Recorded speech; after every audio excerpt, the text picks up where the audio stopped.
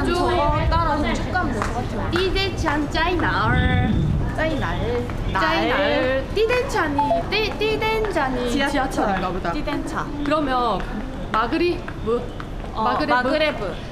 어 maglev 在哪儿 이렇게 부르면 돼. 在哪儿. 근데 얼마지? 비싸겠나? 한국 열차 값이랑. 어, 뭐라 해야 되지? 어, 워치 마그레브. 또 샤오치에 얼, 얼, 얼. 두 개. 두 개. 원, 이거?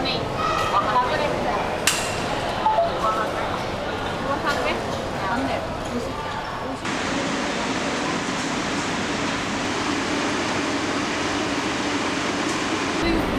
없냐? 없죠? 그래서 사람들 타는 거 따라 뭐 눈치 나잖아. 언니 혹시 없어요? 아 그냥 마음대로 잡아보자. 이 자리 되게 넓다. 짱 나도 돼. 아니야. 우리 뒤로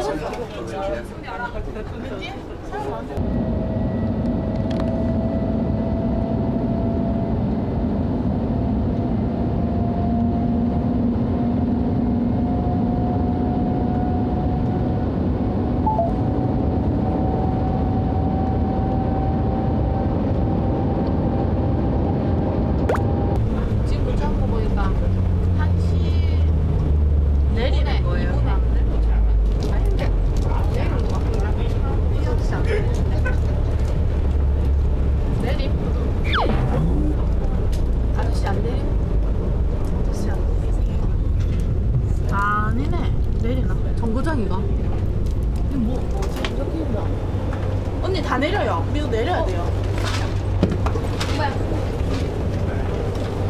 헐, 진짜 빠르다. 언니, 이거 한 개 다 못 먹었는데 여기 내렸어요. 대박이에요. 내리네. 완전 빠르다.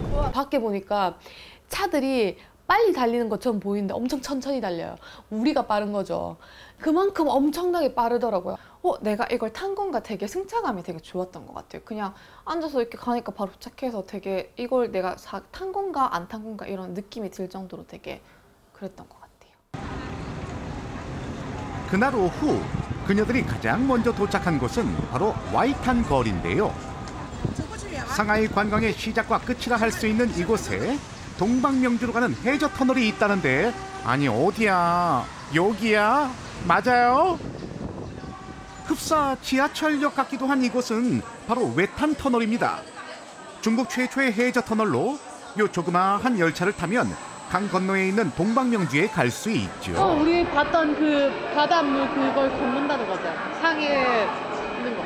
밑으로 건너잖아. 네, 그림, 아, 해저 터널이니까? 그런가? 몰랐나? 여기 밑으로 그게 건너잖아. 있어요? 아니 그게 아니라 아, 그 해저 바닷물. 해저 터널이긴 한데 내만 언니 말대로 기차 가는데 위에 물고기 이렇게 아니야 아니야 아니야 밑으로. 해저 터널이잖아. 어, 밑으로 건너가는 거. 过了一下，我们也 봤어요. 业避开了。 들어가자 이거. 오 그것도. 헐. 빨리 가자. 看前面，不能看后面。 스피드를 不好看 즐기고 싶어요, 为什 진짜. 么？那我要看。后面不好看，你看前面呢？ 어, 이거 즐기고看得很快。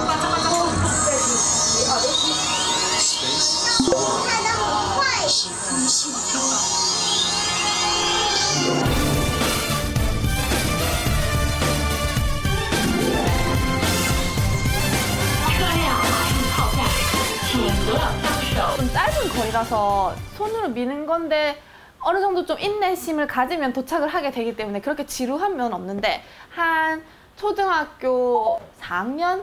5, 5학년 너무 큰가? 4학년 친구들까지 타기 좋은 해저 터널이었던 것 같아요. 무사히 강 밑을 건너 도착한 두 여자. 목이 아플 만큼 높은 동방명주는 세계 3위에 이르는 468m의 어마어마한 높이와 전 세계의 관광객들이 모두 모여드는 그야말로 상하이의 랜드마크입니다. 우리 1번 엘리베이터 타였다. 기분 좋게 1번 엘리베이터. 어, 타요. 밖에 안 보이나? 밖에 안 보이나? 밖에 우리 잘 우리 잘 보고 싶다. 밖에 안 보여요. 언니 우리 이거 봐. 你上去到二六三，然后走个楼梯到二六七，五点开门。 在门口等着就可以。 어, 금방 10분쯤 됐다. 불 터지는 것 봐. 진짜 빠르다. 진짜 빠르다. 근데 소리 들리나? 이게 놀이기구인데. 지금 자이로드롭 올라가는 기분이라니까요. 상하이의 아름다운 전경을 볼 수 있는 동방명주에는 90m, 263m, 350m의 각각 전망대가 있는데요. 자, 263m의 전망대에 오른 두 사람. 이곳에서는 360도로 상하이의 전경을 볼 수 있습니다.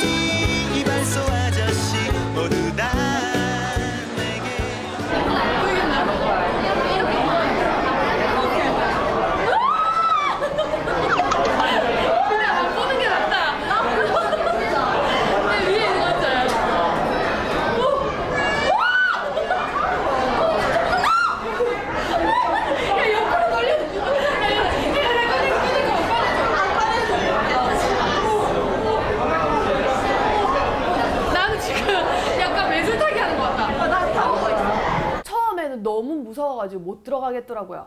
그런데 또 막 사람들 올라가서 어린애들도 올라가 있고 이런 거 보면서 아 나도 조금씩 올라가 봐야 되겠다 해서 저 일단은 밑을 쳐다보지 않고 위를 쳐다봤어요. 와 대박이었어요. 진짜 속이 뻥 뚫리는 기분. 나는 무슨 생각까지 했냐면 어, 여기에서 만약에 번지 점프 같은 거 하는 것도 만약에 해가지고 사람들 체험할 수 있게 하면 더 좋겠구나 생각을 해서 하- 해서 그런 것도 하면 좋을 것 같아요. 동방명주 사장. 동방명주의 진정한 아름다움은 해가 지고 나서야 나타나는데요. 환상적인 상하이의 야경을 보기 위해 모인 사람들.